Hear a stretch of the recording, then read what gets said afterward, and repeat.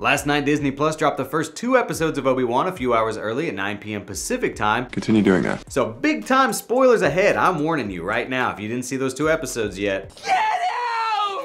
The first episode marked the live action debut of the Grand Inquisitor, played by Rupert Friend, who is at odds with Reva, aka the third sister. By episode 2, you know that Reva turns on the Grand Inquisitor and kills him. Excuse me? If you watch Rebels, which takes place five years after the Obi-Wan series, you'll know that the Grand Inquisitor there is alive and well, at least for a little while, so his death. Is that a big old plot hole? Debatable. Let me know what you think in the comments, but probably not. Grand Inquisitor has already risen from the grave once in Star Wars canon when his spirit was harnessed by Darth Vader. Plus, now we know Palpatine started playing around with clones, so that's a possibility too.